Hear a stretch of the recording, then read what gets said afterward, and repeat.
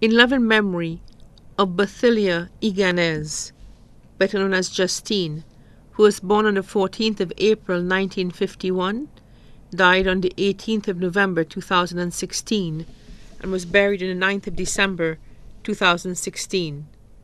Celebration of Life The celebration of life shared in the beginning and again in the end, yet we forget to celebrate it in every moment we live. Time, days, years go on, but are we alive? Alive and do not know it, sleeping in the world and dead to the life we are to live. To celebrate all life, the sparrow who sang in the morning and died in the night, why do we not celebrate its life? To know thyself is to know you are alive, to give, to love, to seek truth, beauty, and suffer pain.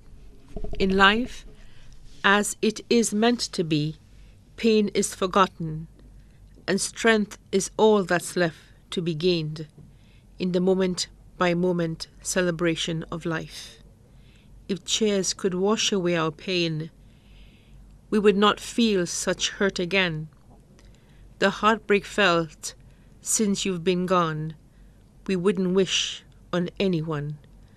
But today is your birthday, so we'll have to be brave and accept God's taken what's first He gave. Was provided by her husband and family